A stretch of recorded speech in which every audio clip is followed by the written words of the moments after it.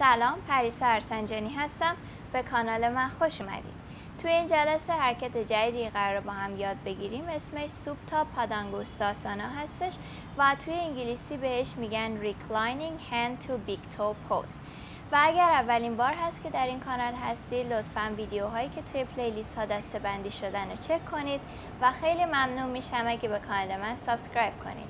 و همچنین اگر دوست داشتید خیلی ممنون میشم و خیلی خوشحال میشم اگه در کانال تلگرام، اینستاگرام و تیک تاک با من همراه باشید. خب برای انجام حرکت سوپ تا پادانگوستاسانا ما نیاز به کشش پاها داریم توی این حرکت و همچنین کمر رو هم کشش میده و اگر نتونستید با خود حرکت انجام بدید می‌تونید گزینه های راحت رو تمرین کنید تا بتونید به این مرحله اصلی برسید. حالا برای اینکه انجام بدیم این حرکت رو پاهامون رو اول دراز می‌کنیم یه مقدار پاهامون رو تکون میدیم و بعدش باید دراز بکشیم. بعد از اینکه دراز کشیدیم من اول از پای راستم شروع می‌کنم. کاری که باید انجام بدیم اینه که اول سرمون رو بلند می‌کنیم و بعد پامون رو می‌گیریم. اگر می‌تونیم مچ پامون رو به این شکل نگه میداریم. با یک دم شروع می‌کنیم و با بازدم پامون رو صاف می‌کنیم کشش میدیم و پنجه ها اگر رو به داخل باشن کشش بیشتری تو قسمت پشت پا ایجاد میشه. اگر پنجه ها رو به بیرون باشن به این شکل کشش بیشتری روی قسمت جلوی پا ایجاد میشه. برای همین شما می‌تونید هر دوتاش رو تمرین کنید تا کشش رو تو هر دوتا بخش پاهاتون ایجاد کنید. بعدش تمرین بعدی مرحله بعدی اینه که با یک دم دوباره شروع می‌کنیم و با بازدم به این شکل آرنجمون رو خم می‌کنیم سرمون رو نزدیکتر می‌کنیم به پامون به ساق پامون و همچنین با دستامون که مش پامون رو نگه داشتیم بیشتر پامون رو به سمت سرمون کشش میدیم. و فقط باید حواسمون باشه که توی این تمرین اون پایی که رو زمینه رو از رو زمین به این شکل بلند نکنیم. یعنی فقط برای اینکه پامون رو به سرمون نزدیک کنیم به این شکل باسنمون رو بلند نکنیم که حرکت اشتباه بشه.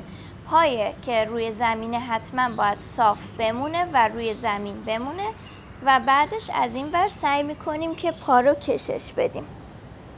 و بعد از چند دم و بازدم به حالت اول برمیگردیم. و همچنین همین رو با پای چپ هم, هم انجام میدم مش پامو می‌گیرم دم و بازدم.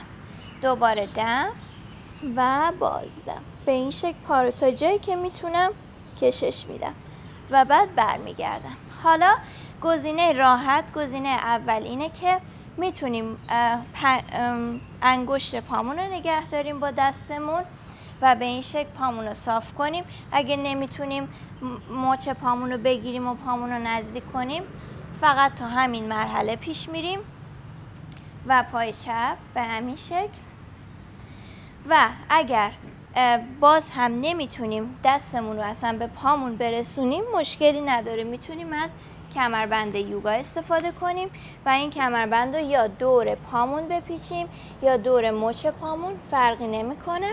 و بعد دراز می‌کشیم و این کمربند رو تا هر چقدر که می‌تونیم نگه میداریم جلوتر نسبت به پامون. سعی می‌کنیم به این شکل دستامون رو هی نزدیکتر کنیم به پا و این کشش رو تو پامون ایجاد کنیم کم کم تا بتونیم به مرحله بعدی که این هست پیش بریم.